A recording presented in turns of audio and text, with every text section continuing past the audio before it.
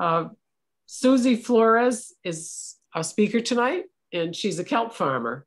Uh, she and her husband run one of the largest commercial seaweed farms in Connecticut, and it's called Stonington Kelp Company. They started their venture in 2016, and they sell food grade sugar kelp to many local restaurants and shops. And I just wanted to give you a quote from Greenwave, which is an organization that offers training to ocean farmers, talking about Suzie and the company. Regenerative ocean farming is a new industry and women have emerged as leaders at every level. Connecticut farmer Suzie Flores is one of them.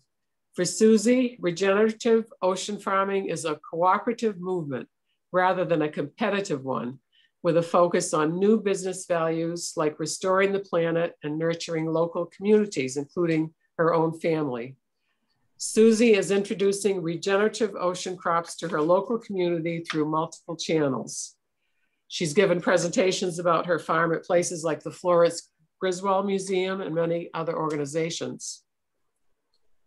So I just want you to please join me in welcoming Suzie Flores. Thank you so much. Hi, hi everybody. I'm gonna try and figure out how to share my screen, but I just wanted to say that I'm really grateful to be here tonight and thank you to Diane and Karen for all the pre-work leading up to this.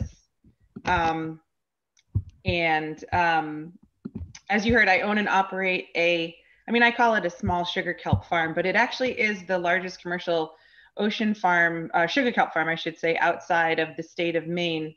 Um, but as my mom says, that and a dollar fifty will get you right on the bus because there just aren't that many of us out here.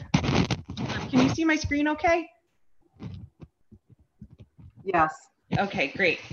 Um, so, uh, oh, and let's see if I have to figure out how to advance the slides. There we go. So kelp, um, and specifically sugar kelp, which is uh, what we're growing is algae.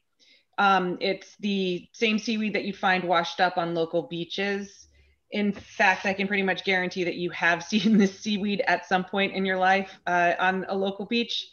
It's one of the fastest growing organisms on Earth. It grows, the sugar kelp grows between one and four centimeters a day, which is close to an inch and an inch and a half on its best day.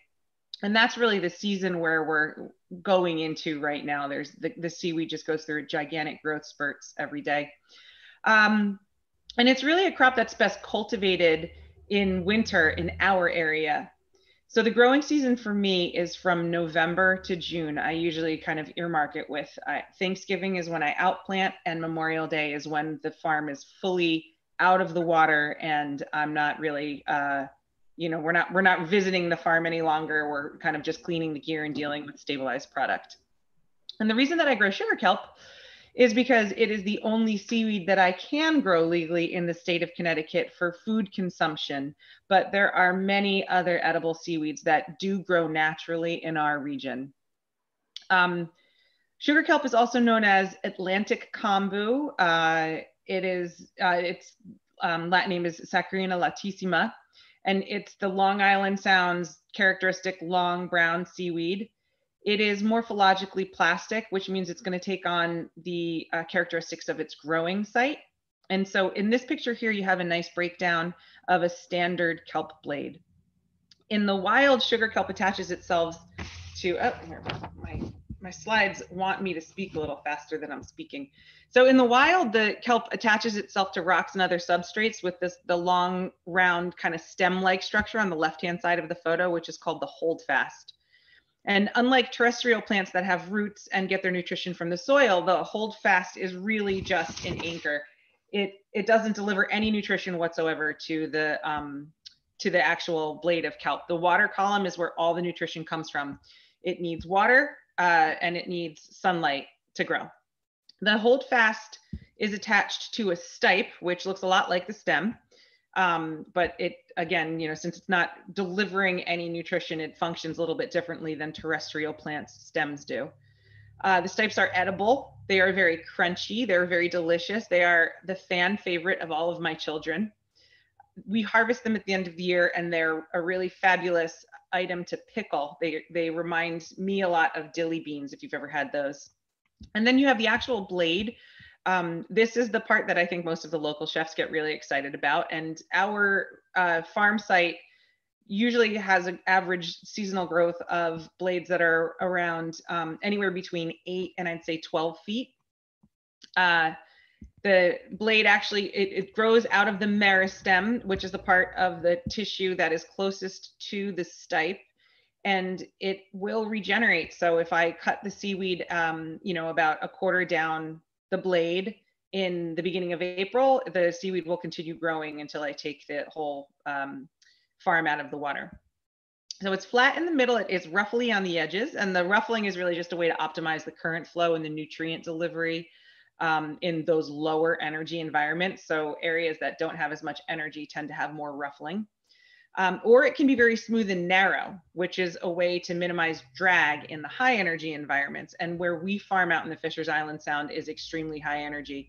So the seaweed that we grow tends to be very long and very narrow. And I think it looks a lot like a very, very long lasagna noodle. And then in the middle here, you can see there's kind of a darker, there's a darker coloration to it. And that brown stripe is what's known as the sorus tissue, and that's the reproductive tissue of the seaweed.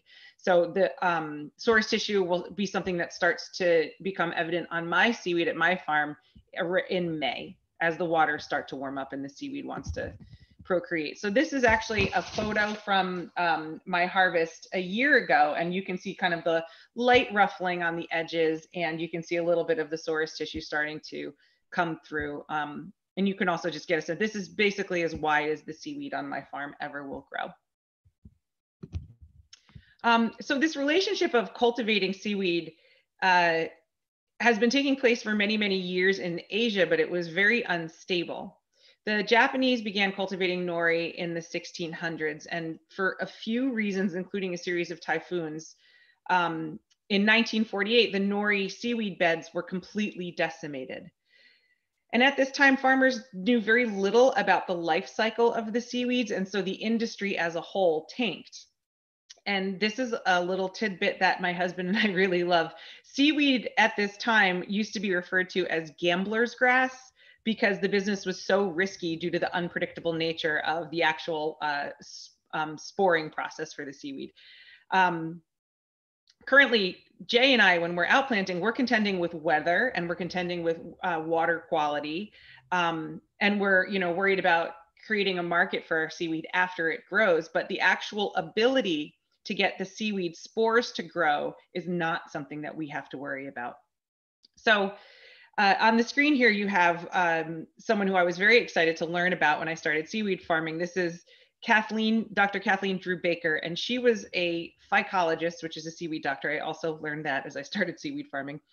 Um, and she discovered a special phase in the life cycle of this uh, North Wales and East Ireland coastline seaweed that was known as laver. And laver is a relative of nori, which had which was what was growing in Japan. She discovered specifically that in the life circle of laver, there's a stage where the laver is a worm-like um, al- alga and it bores into seashells. And so understanding this phase of life allowed scientists in Japan to introduce oyster shells into the nori farming process. And that since has stabilized uh, the nori farming industry. So it just another way that seaweed and oysters, I think, pair well together in addition to eating them. Um, and actually, in Japan, uh, Dr. Kathleen Drew Baker has become known as the mother of the sea. And every year, April 14th, there's a huge celebration in her honor. And um, this is a monument to her that was erected in the 60s, um, where uh, she's pictured here. And she actually never set foot in Japan. And so I think that that's even more amazing that she's celebrated, but she's truly just this kind of person who exists on another continent. Um, so you know all of that hard work that she did flash forward to to stonington kelp company. And this is this is an image of our farm. Uh, the little orange box in the bottom left hand corner is actually where we are located. We our farm exists underwater on a 10 acre site in the fishers island sound. We're right at the connecticut rhode island and new york uh, water borders. We're over a sandy bottom area. We have an average depth of uh, 25 feet. Um, more or less. Uh, and we are located in an approved aquaculture site and we share the space with a lot of um, commercial fishermen. And I'm not sure if you know this, but Stonington, Connecticut is home to um, Connecticut's last commercial fishing fleet. The, the site that we have, as I mentioned, it's an approved aquaculture site and it's available for lease. So we do not own it. We merely lease the right to cultivate seaweed there in a set time frame. And so our set time frame for our farm lease is um, from November 1st to uh, June 1st. Um, and this is an aerial shot of what the farm, what a seaweed farm looks like from the surface. And uh, from where we sit, it really doesn't look like very much. Um, from the surface, you can see navigational buoys, you can uh, kind of get a sense of the perimeter of the farm, but most of the action that's actually happening on our seaweed farm is uh, taking place underwater. And, and this is this is a very rudimentary drawing of what that underwater action would look like. The seaweed is growing on a line that is suspended about three to five feet below the surface. And as I mentioned before, the seaweed is going to grow from um, the nutrition in the water as well as from access to sunlight, which is why we don't suspend that line any deeper. It also allows us to access the boat or access the seaweed line from the boat. Um, so we don't have to dive for our seaweed. We just roll, uh, you know, the boat up alongside the line. We use a boat hook, um, stick it into the water, pull the line up, and then we can expect, inspect the seaweed uh, to measure the rates of growth and just make sure everything is progressing how we would actually like it to progress. Um, and this is another uh, rendering of the seaweed farm um, that a local artist did. Um, our our farm site has a current that moves between two and three knots on average. So I love this picture. I think it's very beautiful and kind of gives you like a perspective of what the farm is like. But in actuality, the seaweed is always horizontal. It's always getting pulled in one direction or the other, much like a flag blowing in the wind. And that strong current is something that really contributes to the nutrient delivery of the seaweed and its growth rates. Um, it also makes our site a little bit more dangerous than other sites that are out there, but it, you know, it's really all about balance. We make an effort to um, pay close attention to the weather and the wind uh, and tend to the farm in pairs rather than doing it by ourselves. So it is, it is a trade-off to some degree. Um, this is what it actually looks like. So you'll notice in this picture that the seaweed is flowing along in the current. This is, um, again, this is a photo that was taken at the very end of our harvest season last year.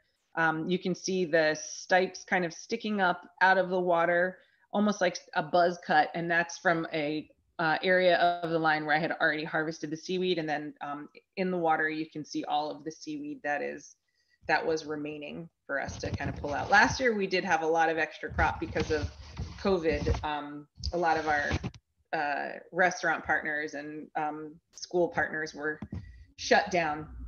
Um, but you you can see kind of just from this image as well that the seaweed really never sits down. Um, and I think I think this per, this picture in particular looks a lot like mermaid hair, and it I never tire of kind of coming along the lines and seeing this site. Uh, this is this is a photograph that was actually taken by uh, someone who helps me out on the farm who also happens to be a, um, a, a photographer. She was a Fulbright scholar and then got grounded when they closed the border. So she was she was stuck with me out on the boat all all winter. So it was really worked out wonderfully for me. Um, hopefully she gets to finish her work down the line. So you can see here the blades are quite long. I would say that these were probably around 12 feet. Um, they do not start out that way we are uh, outplanting our seaweed and we use something called seed string.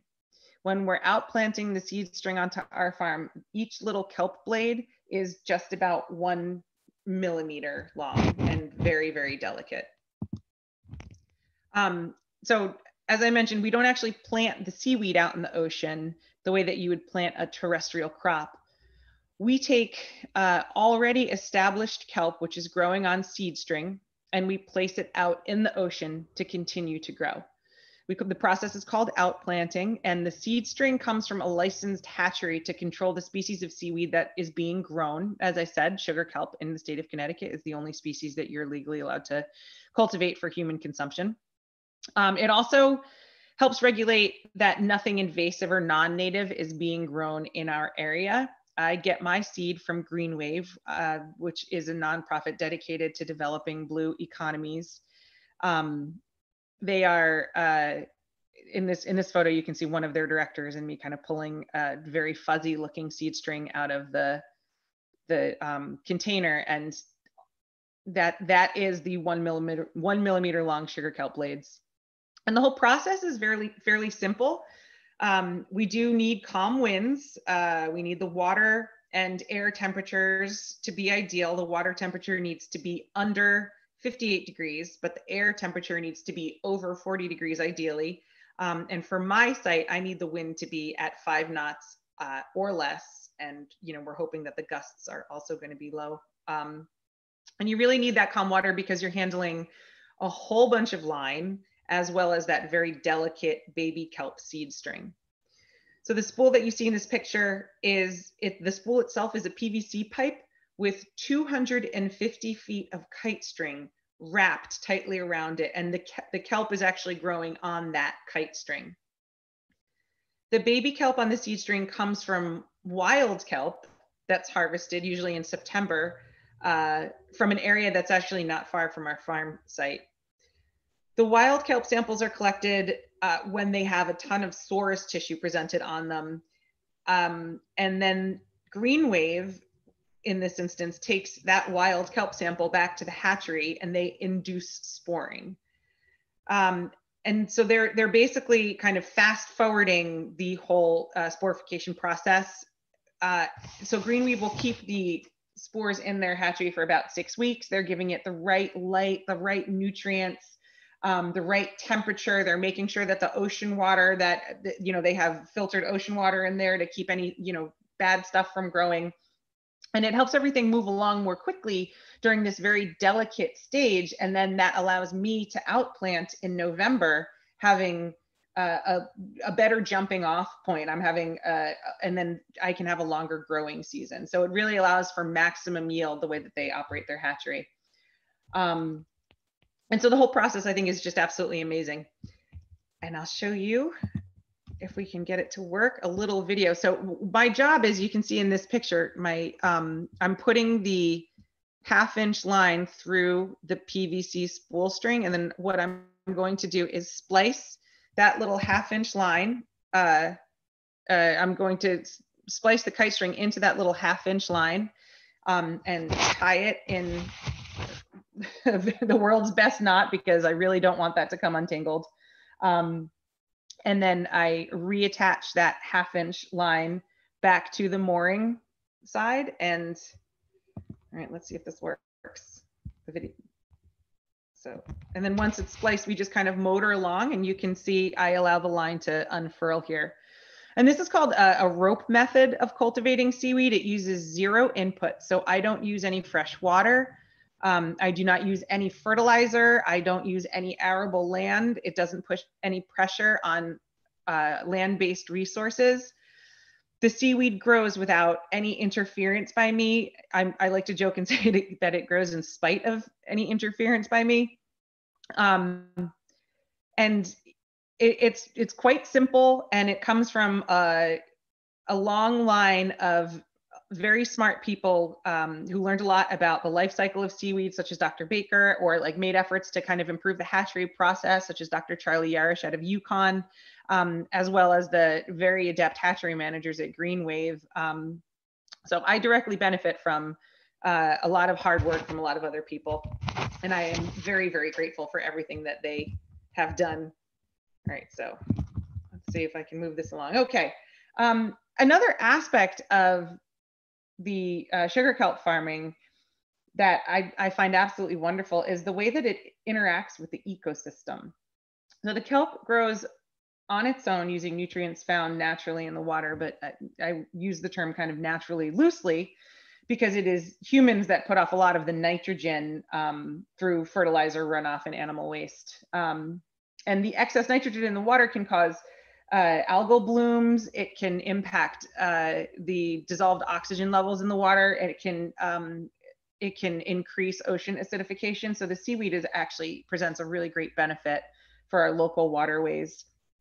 I live, excuse me, I live near the Little Narragansett Bay, and we have a lot of uh, the cladophora, which is a type of algae that blooms um, in early spring and can mat down uh, and choke out um, eelgrass. And so that excess nitrogen in the water, if it got sucked up by uh, a crop such as seaweed that could be used in another way, would be a really big benefit. Um, so the season that sugar kelp grows is when a lot of the other algae are dormant. So everything that my farm, you know, is absorbing from the ocean, um, it, it, it absorbs before, you know, one of the other more dangerous algae can get to it. Uh, we also absorb carbon from the water, much like plants absorb carbon from the air, and this can slow the rate of ocean acidification. And kelp and seaweeds in general, they absorb carbon five times faster than terrestrial plants, which makes sense when you think about how fast they grow.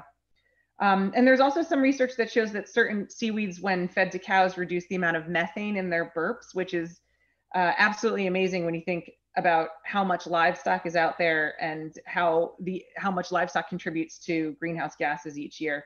And it is also probably the fact that my children love the most about seaweed. Unfortunately, it is not the seaweed that we cultivate, but it is still fun uh, nevertheless. And our kelp farm also creates a little habitat for fish in the local waterways. And anecdotally, I, I have noticed um, that there's much more bird activity around our farm. Uh, I think it's because of the um, food sources that are just available around our seaweed. We've also noticed this is the first year we've noticed this. Um, seals are swimming around the seaweed farm, so that's wildly excited, uh, exciting for us. Um, and you know that's really important to me just in general because as I mentioned, Stonington, Connecticut is home to one of the last commercial fishing fleets. So anything that I can do to better support the waters locally and help keep this important element of our economy going is, you know, something that I want to I want to be a part of.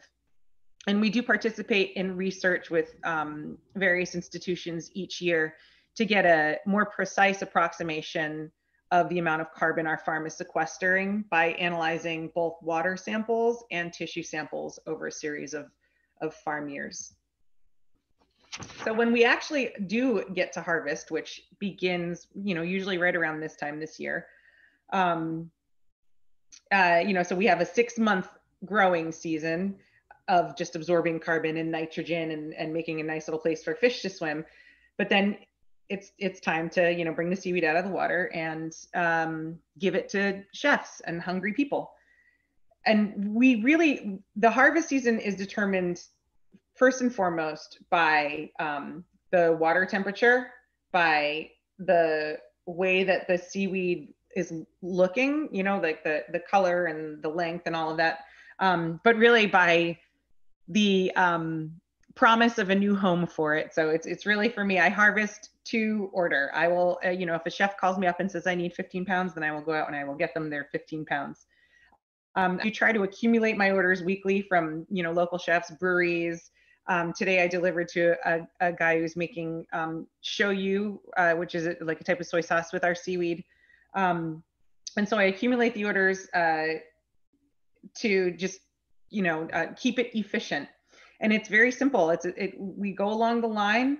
Um, we lift the lines up like you can see in this picture, and then we just simply cut the seaweed off and, and put the seaweed into a, um, you know, a food basket or a, a, a cooler and then we deliver it to where it needs to go. And that i mean that's really that's really all it is. Um, and the industry currently in the united states compared to the the global size of the industry is it's pretty small. Um, like most seafood over 90% of the seaweed consumed in the us is imported However, we have ideal growing conditions. We have clean water. We can responsibly cultivate seaweed. I test my seaweed for heavy metal contamination every year, which is a requirement unique to the state of Connecticut. Um, and the seaweed does absorb everything from the water, both the good and the bad. So if you're getting imported seaweed from someplace without strict standards on how you grow, um, you are putting yourself at risk of consuming something like heavy metals um, by accident uh, in the US, we often manage seaweed farms the same way we manage oyster farms, which is in particular what they do in the state of Connecticut. Um, we, in addition to testing our seaweed every year for heavy metals, we also test for panels of bacteria as well. Um, because the seaweed season um, tends to end as the waters warm up, we're fortunate that we are not out there um, growing seaweed during a time when a lot of the really dangerous bacteria tend to bloom. Uh, I would, I would say that um, uh, supporting locally grown seaweed is it's obviously better for the environment. It's um, it's a great way to reduce our carbon footprint in this area, but it also is an opportunity since we do have all of this clean coastline. We do have working waterfronts all along the New England New England close, coast. It's an opportunity where we have room to really develop um, a new a new seaweed economy. Um, so one of the things that we're trying to get going this year is uh, myself and a bunch of other, um, I say a bunch, the other two Connecticut seaweed farmers. Uh, we're what we're working with a couple nonprofit organizations. Um, we're working with Connecticut Sea Grant. We're working with Southern Connecticut uh, University, and we're working with um, uh, the Yellow Farmhouse to start a New England Kelp Harvest Week where we're going to be partnering with local restaurants and breweries. Uh, we said from Westport to Westerly, but it turns out it's going to be from Greenwich up to Westerly. And have them feature locally cultivated sugar kelp on their food or drink menus um, just to kind of celebrate the Connecticut sugar kelp sugar kelp harvest and get it on people's radar. It also gives people an opportunity to try seaweed outside of just a seaweed salad. So I, you know, this is a shameless plug, but I really do hope if you feel comfortable in doing so to um, visit the events page of my website and see you can get a list of uh, restaurants that are participating in this event and it, uh, you know you can support them. It's going to be uh, a great opportunity to kind of hit this trifecta where you can support a local farm you can support local restaurants um, you can support a new economy and you can also kind of you can fight climate change just all in one meal and all you have to do is just eat delicious food. So um, there is my shameless plug. And we do have some really i, I actually went to one of the restaurants um, that's participating for a meal the other night and it was pretty delightful um, but back to the seaweed economy the global commercial seaweed market size is just under um, in 2019 it was listed to be just under six billion dollars, and it's just anticipated to continue increasing. There's all of these developments in cultivating seaweed with um, interest in new markets like segments for applications. So animal feed is one of the big ones that people are looking into. Um, it's being considered more widely in agriculture as an organic input for um, uh, for soil. Um, as well as uh, the pharmaceutical market is um, growing tremendously. And in the United States, actually, it's um, it's growing fastest because of the uh, pharmaceutical industry. Um, I am most interested, though, uh, not in cultivating at uh, on a very very large scale because I think that that's just not practical for this region. But um, I'm most interested in growing that kind of highest standard of seaweed that we can eat that's going to bring the most nutrition and value to our diets it's still going to have a very positive impact on the environment um, but it is uh, you know we're, we're growing food so for me getting seaweed onto more plates and helping it become a, a bigger part of our everyday diets is one of the exciting challenges that i have as a small farmer um, finding fresh seaweed outside of foraging believe it or not, is really difficult. And sugar kelp does not really grow, you know, much further west in the Long Island Sound, and it's not growing any further down the coast. So many of the chefs um, that I'm finding, they're looking for the flexibility to create these dishes that are what they call sea to table with seaweed that they know was grown sustainably. So they know it wasn't foraged from an area where there could be some sort of contamination on the seaweed. Um, and they also uh, can you know they they have that information they have that data that says that the seaweed was tested you know for the following different um, contaminants and heavy metals and i'm seeing uh, i'm seeing this be a, a very growing sort of appetite pun intended that these chefs are having I also believe that as they learn more about how the choices they make by menu selection can have an impact on the environment, they're they're working actively to um, to make make choices that they can stand by. Um, this, and I, I, don't know if this is specific to New England. I am I am branching out a little bit more into the New York um, market, and and I am finding a lot of kind of the same mentality. But it's it, it, there's more plant-based meals out there. People are working sustainability into the their the story of their menu, and they're thinking outside of just seaweed salads, which I am still a tremendous fan of. So um, you know, don't think I'm knocking seaweed salads. But you can see, uh, so these are just a couple images of dishes that were created uh, using our kelp. And um, the bottom left, Melissa Clark from the New York Times did a piece about seaweed. Um, and so that's her chicken with seaweed roasted potatoes. And the reason I think they're so excited about it, beyond its uh, environmental benefits and the sustainable growth practices that we use, is it has this fabulous umami quality, like um, mushrooms or Parmesan cheese. And it really fascinates the chefs. And it's so simple to use. Um, so the top three ways that people tend to cook with it are um, by blanching it and chopping it up to be whatever shape you want, you know, such as a noodle or, you know, the, the smaller shape that usually is used in seaweed salad, um, drying it, and then using it as a seasoning. Uh, that is a, a, way that people tend to season stocks and broths using um, the dried concentrated sugar kelp as kind of an umami punch um, or by pureeing it. I um, I sell a lot of seaweed in pureed frozen cube form, and people will use that to put into their smoothies. In fact, on Easter, my mother is coming to visit me, and she will be. She already put her order in for 100 cubes for her and my father for their smoothies. I hide it in chicken wings all the time uh, to make my kids eat more vegetables because it's very high in iron and calcium. Um, we put it in soups and stocks. Uh, any any any chance I can sneak it into a salad when it's in season, I absolutely do. And it really is, at least for my family, I, I love incorporating it because it comes into harvest prior to when many other vegetables are available, and it has it just it's very high in calcium, it's very high in iron, uh, it ha- it's high in iodine, vitamins A, B6, lots of trace minerals that are difficult to find. It has folic acids, omegas, um, antioxidants. It's right now being studied in the United States at UConn um, is one study that I know of to really get a better handle of the um, actual health benefits it has on humans. I think that um, sometimes you hear it may, you know, help with weight loss or it may reduce your risk of, you know, this, that, and the other. Um, and I really do appreciate that people are looking into the actual impacts that it has. Uh, but with all of these nutrients and vitamins and minerals in it, you know that it's it's um, it's definitely better than for me what the alternative is, which is probably eating potato chips. Um, and if you're interested in cooking with seaweed, there are two wonderful resources that you can access. They're free and they're on my website. Um, they're downloadable P PDF cookbooks that share recipes designed specifically for Atlantic uh, sugar kelp.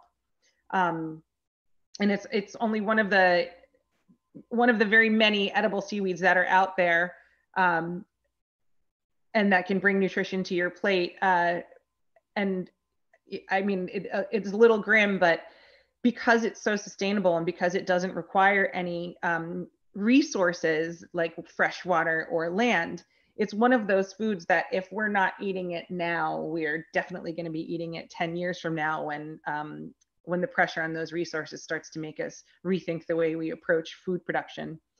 Um, but the wonderful thing about that is it's actually quite good.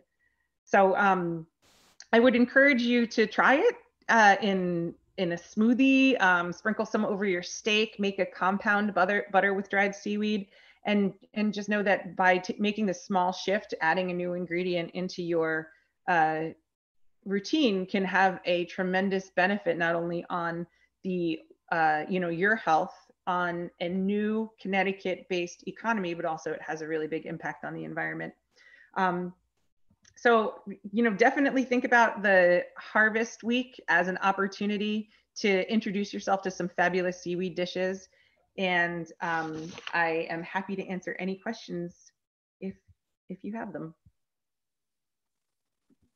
If people have questions, just unmute yourself and, and ask, ask away.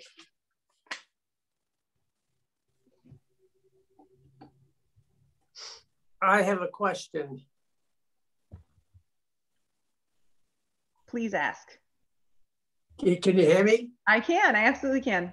Yeah, I was wondering, uh, is, is the uh, number of uh, farming areas in that area limited to uh, X many so that uh, it, uh, it's, it's not all congested with that type of farming? Um, the way that they uh, regulate seaweed farming is it is you have to set your farm up in an approved aquaculture site. The permitting process probably took us around 18 months to get through. It involves um, partnering with the Army Corps of Engineers, the state, um, the uh, D Department of Aquaculture, uh, and um, so by way of that, uh, and by fear of any sort of gear issues, uh, there would not be another seaweed farm kind of right along our borders. Um, I did also learn recently in one of the research studies that we are a part of that the seaweed, there's only so much nitrogen and carbon in a certain concentrated area of water. So if there were, say, you know, 18 seaweed farms all clustered in one region, there would really have to be a whole bunch of organic nitrogen in order for all of those farms right. to produce seaweed successfully.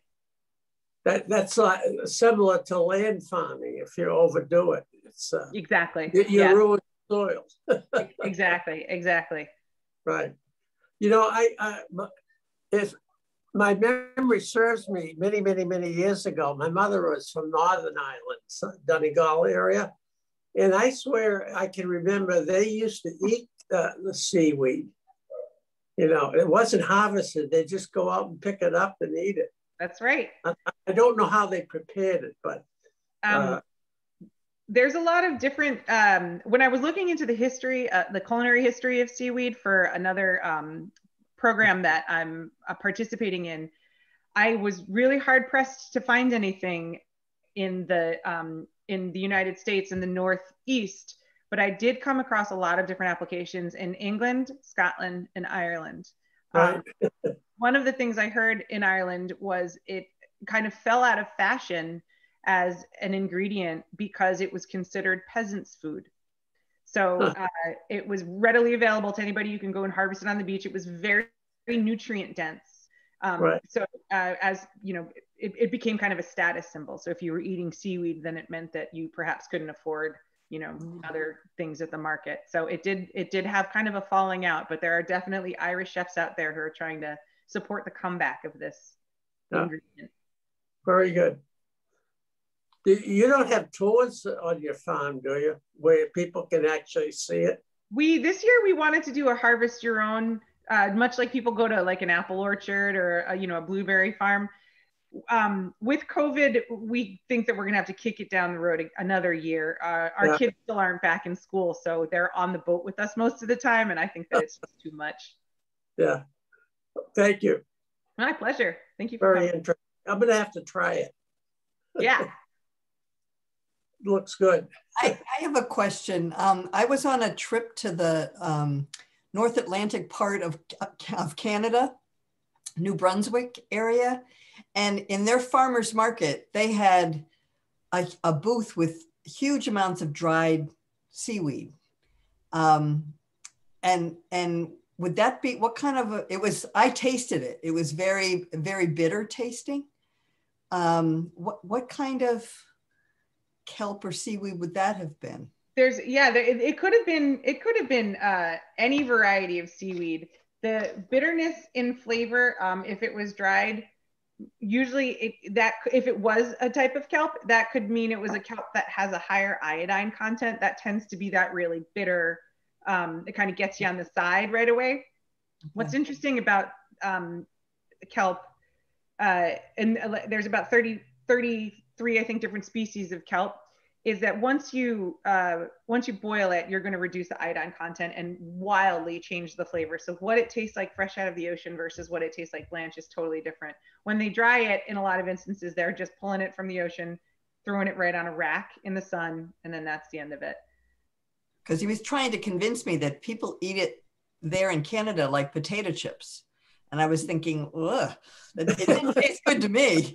So, um, we, we have a couple of questions in the chat room. Uh, somebody says, where can I purchase sugar kelp to cook with? Um, the uh, the sugar kelp is currently i'm trying to think like where the closest place is. We have it in stonington i participate in you know a lot of the local farmers markets um, that are up here. There is another seaweed farmer uh, it is new england sea farms. His name is jonathan mcgee. He's a great guy um, he is also selling out of the Essex area. Um, and then both of us sell our seaweed through a new uh, company called Healthy PlanEat. So instead of planet, it's P L A N E A T. And Healthy PlanEat has a variety of pop ups in all different locations in Connecticut. Both of our seaweed is available through Healthy PlanEat as well. Um, we have a farm stand always at our farm in Stonington, and uh, we're working with a few markets locally in New London. I'm not sure if that's a help though. Healthy PlanEat would probably be the easiest way to get your hands on some fresh sugar kelp. I, I would I would think that your business will pick up now that the restaurants are opening up more. I really hope so. That'd be great. There's another there's another question. I uh, somebody said they missed the very beginning. Is sugar kelp the only or best edible kind?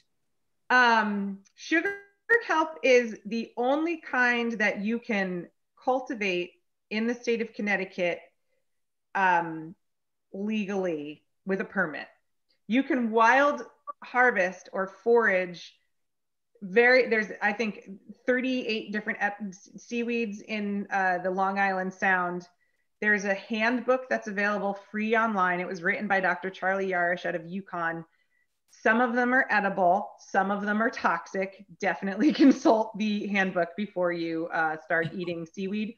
And just be aware that unless you're harvesting it from a place where you know that it's growing, and then you also are aware that that area is clean water where you would also eat maybe clams from that region, I, I wouldn't want to, I wouldn't risk it. There are a ton of other edible seaweeds though that are um, grown up in Maine, uh, wild harvested up in Maine, uh, in you know Rhode Island and Massachusetts. It's it's one of those. Um, it's an underutilized food resource. There are certain seaweeds that are really high in protein, and you know there are certain seaweeds that bring a you know different uh, array of nutrition to the table. So it's you know sugar kelp is just kind of the gateway drug, if you will.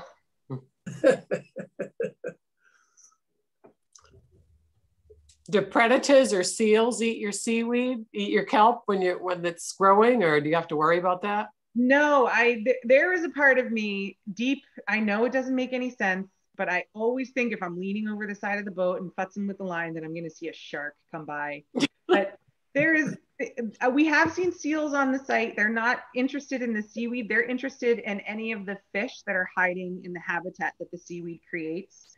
Um, the seaweed sugar kelp actually grows year round in this area. Um, it's not it, I, my cultivation period and the best time to grow it for food is from november to the end of may. That's because when the waters warm up all of the uh, mussels and all of the shrimp all of the small little crustaceans they they start um, they just start exploding and, and trying to you know procreate and they'll cling to anything that they can grab onto. So they'll they often cling to our lines. It's not even the seaweed itself. Um, but it just starts to kind of make the whole thing a big mucky mess. And so at that point, we usually divert anything that's still in the water to fertilizer use. So we'll bring it to farms either out in Montauk or back here near Stonington um, and allow the farmers to use that as an organic soil input on their farm to help improve soil health without having to add additional chemical nitrogen, which then runs off into the water and further contaminates the whole water table. Any other questions? Good presentation. oh, thank you. You couldn't see how nervous I was. oh, you did great. I have a quick question for you, Suzie. Thanks again for the presentation. All the info was really great. Um, I'm just wondering what inspired you to become a kelp farmer and um, like what research you did before you started. Um, probably not enough research, but but so my husband, my husband and I, um, we kind of uh, just pulled the plug on our lives in New Jersey. I was working in Manhattan, and he had a um, an, a job in Manhattan as well, and and it just one day he was kind of like, I don't like it here, and I was like, okay, let's go somewhere else. so we we wound up moving up to New England, and um, we we bought an old marina that we began rehabbing and in the process uh, i had an environmental science background and i thought that it would be cool if we had a seaweed garden that we could use for our family since we had access to boats and we could go out and tend to it. And we would just use it as like you know something that we grew food for ourselves and maybe our neighbors. And then the more i researched it the more i realized that was neither legal nor practical. Um, so uh, in the research process, we saw that this was a possible economic stream. And even if it was a failed business, we still would be offsetting carbon. And I tricked my husband into following me on this mission um, because for me, I, I, think that it really does support our other business, which is a marina, and that we have a bait and tackle shop. So people people need to want to fish in this area, and people need to want to use the water recreationally. So anything we can do, even if it's just a small bit, to kind of improve the water quality and uh, improve the um, the fisheries locally, then you know I, I got away with it. It allowed him to be on boats also all winter long, so I think that that helped. But green wave was a green wave was an invaluable resource for me for setting up our farm. Um, they are run by amazing, intelligent people. Uh, like I, I, can't say enough great things about them and i'm really sad that i haven't been able to see them since covid has kind of kept everybody on their team landlocked. So it's a bummer but they are if you if you are interested or um, they're a nonprofit so uh, uh, you know they're usually willing to talk. They have a, a lot of events you know where you can go and rub elbows and have a glass of wine and then donate money. Not to take away from the friends of the library though. That's the first place to donate great. Yeah, much to the library as well. There is another question from someone in the chat. They want to know if severe storms uh, affect your kelp farm. Do they ever affect your kelp farm? They um, they they can affect the kelp farm, but uh, they're supposed to have the uh, converse inverse converse effect. They're supposed to. They're actually kelp farms can actually protect um, oyster farms or uh, you know clam uh, farms from storm surges because they serve as a buffer. So the the biggest impact a severe storm would have on my farm is the high winds causing some sort of gear failure. Um, and that would not be ideal for me. But uh, the idea is that the seaweed itself can prevent a hurricane barrier for uh, coastal regions. So it's just another another small benefit that the seaweed can present. In fact, this year I, I planted an additional line of seaweed, not knowing for sure if I'd even have the market for it, but I did realize that the, the if I farm, we only farm four acres of our 10 acre site. Um, last year I only farmed three, and I realized that if I farm four, the whole farm will do a little bit better because it's kind of protecting itself from each directional wind change and you know hopefully that continues to prove out. We have some wind coming up. Okay uh, hi.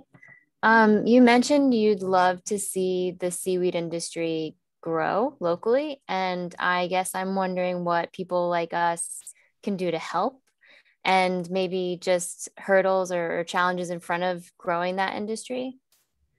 Um, I would really love to see the seaweed industry grow, but I say that with like a big giant, you know, but cautiously and responsibly. Um, I think that having clusters of seaweed farmers, like small clusters of seaweed farmers in various different spots where they're each uplifting their own community. Uh, I think the idea, the model where a lot of um, fishermen, existing fishermen, can add this as a revenue stream uh, nobody's gonna nobody's gonna hit it really you know nobody's gonna hit it rich with a seaweed farm but um, so having that, having seaweed be responsibly cultivated, uh, I, I do think also the state of Connecticut does a very good job because they, they are they regulate us very heavily. They regulate us just like we're sea, we're fish, in any other fishery, and um, it's really all for the best. And uh, you know, they're they're not mean about it. I think they just do a great job. Um, in terms of uh, uh, like my local community, I think that my biggest ask is that people just give it a shot. Um, and if they do, if they are someone that finds themselves dining out um, and they see seaweed on the menu, asking where it actually comes from and if it's imported or they have no idea, then suggesting perhaps that they use some of the locally cultivated stuff. Um, I've it, it, for, for me it really starts with you know people people wanting it. There has to be kind of that drive. So if there's seaweed in something and you know it's grown locally buy it. I don't care if it's mine or john's or you know uh, dj king's out of branford or you know green wave also has a farm. They tend to not sell um, commercially as much. But if people are getting used to seeing it on menus and trying it and you know feeding it to their kids and cooking with it it doesn't seem so scary then it gives us a chance a fighting chance and can you can you order the products online through your homepage as well? Is that what you said? You can you can order the, some of them online the dried the dried yeah so the, the dried stuff the stable stuff um, the fresh seaweed just because of cold chain shipping uh, yeah. expenses is is a little bit harder um, uh, but the dried stuff can be ordered online. And if you do find yourself with fresh seaweed, it lasts in the fridge from, you know, like from ocean to, um, from when it comes out of the ocean, you have about a week of it in the refrigerator, kind of like if you had any other fresh vegetable. So it's not, it's, it can survive. And then what's very nice about it is, you know, if you hit that seven day or eight day mark and you realize you can't get to it, you just dry it or you throw it in your freezer and then you can kind of use it indefinitely. So it is something that um, it gives you a lot of options. Maybe I missed it, but how many uh, farms are there in Connecticut? In Connecticut uh, this year, growing and actually selling, there is just a hand. There's, uh, I think, five of us. Wow. Yeah, there's not that many. Um, it's it's really good fun, but it's not something that uh, with the current demand is something that I think can be people's only revenue stream. And so it's really trying to, to tap into that special kind of person. So for us, we have the marina, the seaweed season mm works out really well. But other, you know, like for fishermen, I kind of always go towards that, or maybe oyster farmers. Um, they they have like kind of a unique opportunity where this is something they can slip into pretty easily. Um, in New York, there's about 17 farms that are being uh, used as research sites this year. None of them are allowed to commercially sell, unfortunately, um, because New York hasn't figured out how they want to regulate seaweed. But they they do have uh, all along Long Island.